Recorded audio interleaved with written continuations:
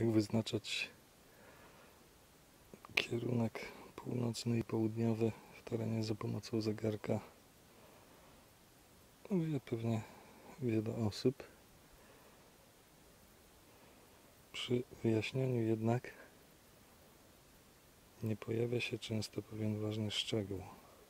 Nie bierze się pod uwagę zmian czasu.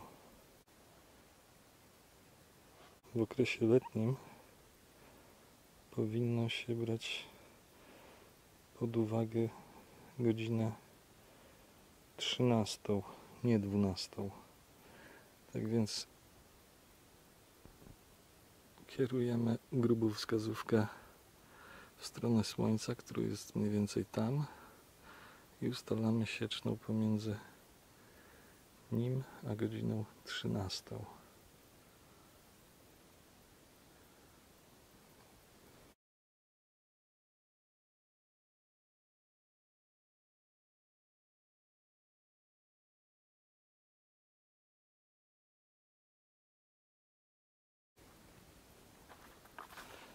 Teraz pokażę różnicę, jaka występuje, gdy się tego nie uwzględni.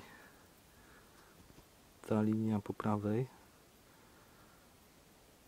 to odwzorowanie siecznej pomiędzy wskazówką skierowaną na słońce a godziną 12. Ta po lewej pomiędzy grubą wskazówką i godziną 13. Ustalanie kierunku w ten sposób jest przybliżone, ale spójrzmy jaka jest różnica, gdy spojrzymy na kompas.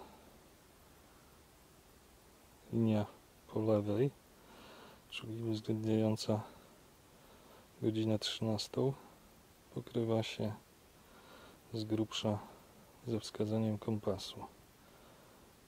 Ta po prawej od godziny 12 trochę nam to przekłamuje.